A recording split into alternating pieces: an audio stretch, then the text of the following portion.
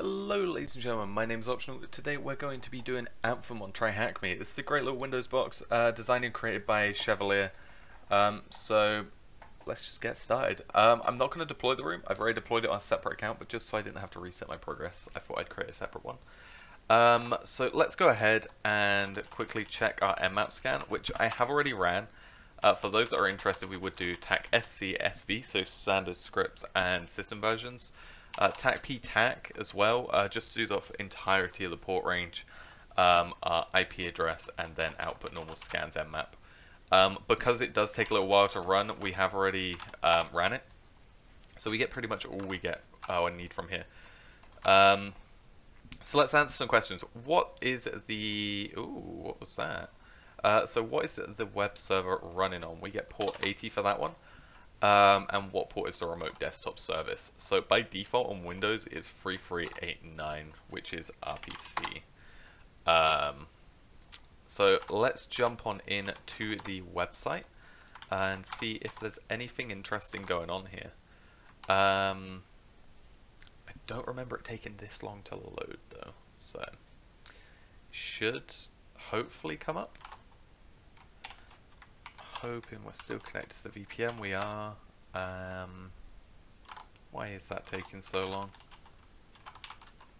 Uh, ba -ba -ba Unless we've got to connect to it on 445, which is HTTPS. No. 243, 118. That should just allow us to connect in. How bizarre.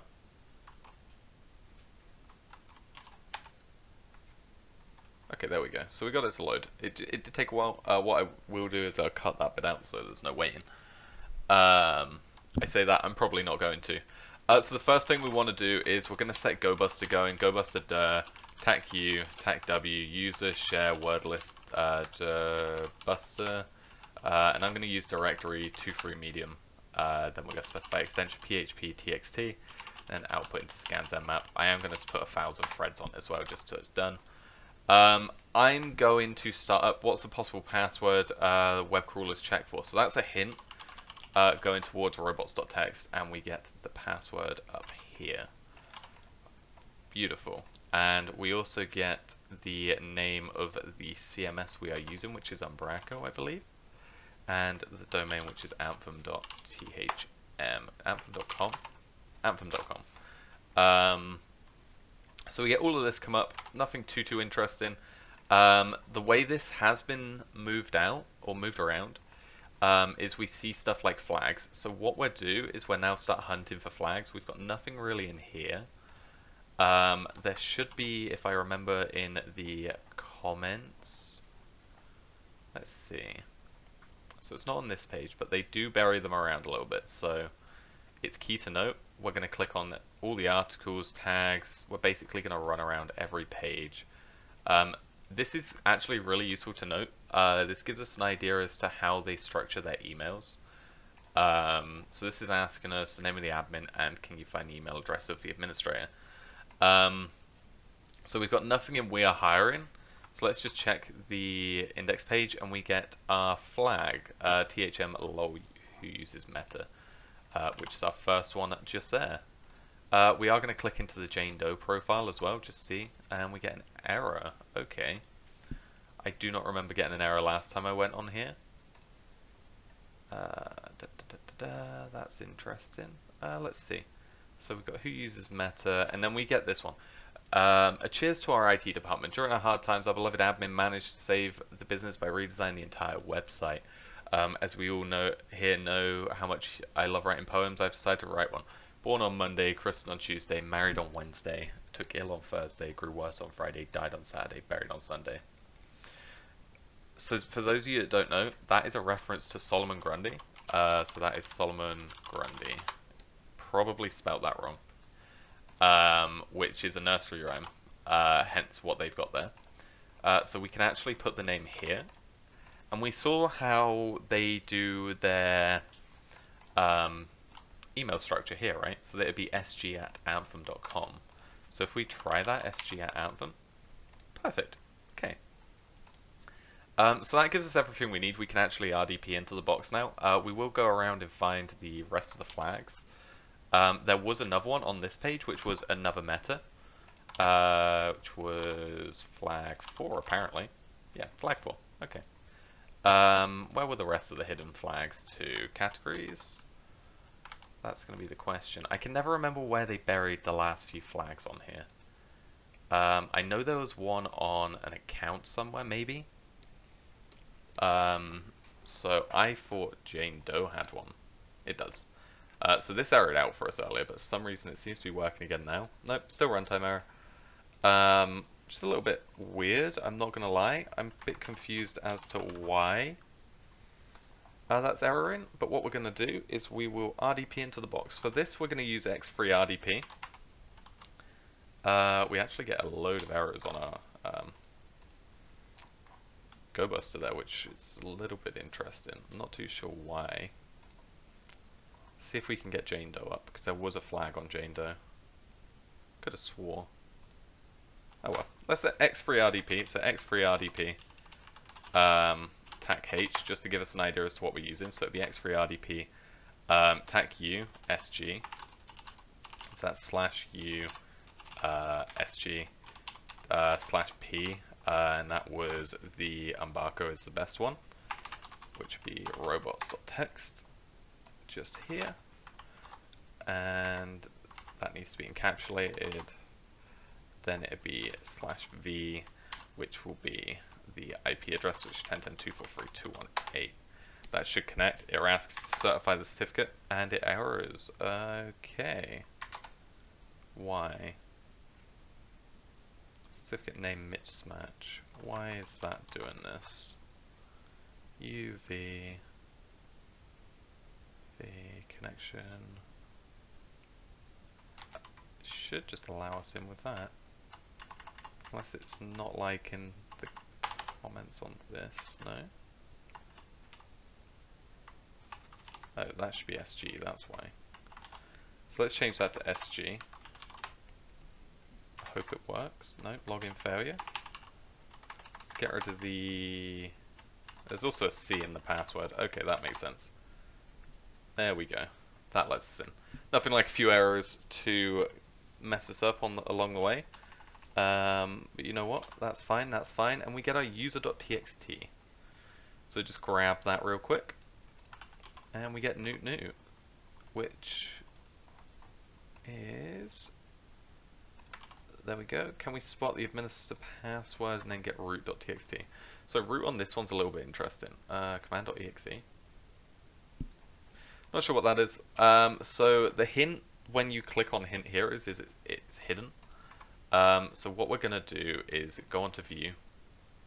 If I remember how to do this, we do hidden items. Just so it allow us to see, and we're just going to go into my PC. Um, this is actually quite a little uh, an interesting Privesk. Um, I know when I initially did this, I uh, overlooked it quite massively. You've got a hidden backups directory in the C drive, which has restore. Um, so if we try and open this, it's going to come up with uh, we don't have permission to read this. So let's do a right click and properties on this. Because um, in theory we should be able to. If we go onto security, uh, no users have permission to access this object, however the owner can uh, do this. If we click on edit and do allow, or add even, no. Where is this? This caught me last time I did it. Advanced.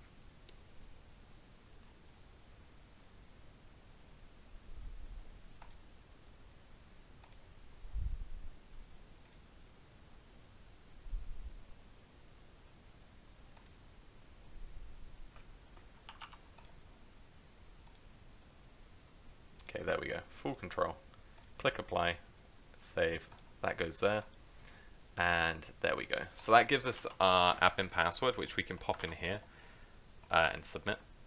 So now if we close out of this one, uh, we can actually close our RDP window here and go up to here, change the name to administrator, change the password to uh, change me baby one more time and that will give us our administrator prompt. Uh, so we do now want to go back, or we will when RDP comes back up, um, to find our way to the other flags, right? Uh, I still think Jane should have an account that works. Um, I need to check back on the blog to double check that. Well, not the blog, the um, VOD. That's what I meant to say. So we'll check back on the VOD, see if we can find anything there. Um, let's see. And UR1337, which gives us our final flag. Just make sure I copy that correctly. Copy. Paste. So that's all of the user flags. It's just a case of spotting the flags now. Um, so if we have a look back on the main page, um, page source, if we do search for THM, there we go. So we get get good. Uh, easy one to overlook as we saw there. I'm assuming that is going to be this one. Then we have the final flag free. So this one is the one I'm pretty certain should be on the Jane Doe website. Um, but for some reason this isn't working. Luckily we are in the admin account, so we could probably find where the website's hosted and just pull it from there. Um, we could also check around because I remember this being in the author's website. Um, I would love for this to work. I don't really want to have to uh, reset the box if I can help it. Uh, just it's a little bit tedious.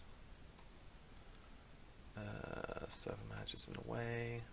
Where would this be? Users. Let's see. Maybe not. Uh, let's search for it. Uh, this is probably using XAMPP, right?